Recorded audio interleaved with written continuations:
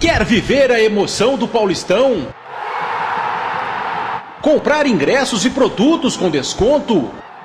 Comprar e aproveitar promoções em mais de 30 lojas da rede de vantagens? Seja sócio torcedor.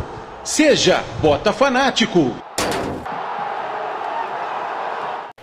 Bola rolando no estádio Santa Cruz para a estreia do Fogão em casa. Jogo válido pela segunda rodada do Paulistão Itaipava 2015. E o Osasco Aldax sai na frente.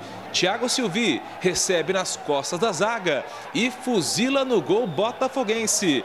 Osasco Aldax 1, Botafogo 0. De novo no replay, o Thiago Silvi, ex-Botafogo, pegando forte na bola e abrindo o placar para os visitantes.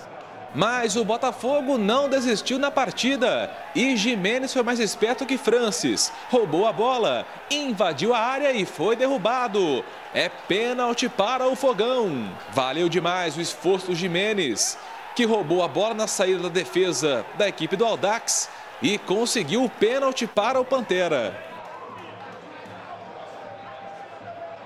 Rodrigo Andrade, o camisa 10 do Fogão, foi para a bola e mandou uma bomba no meio do gol para estufar a rede do Aldax. Segundo gol do camisa 10 no Paulistão, o artilheiro da equipe no campeonato. Final de jogo no Santa Cruz. Botafogo 1, Osasco Aldax também 1.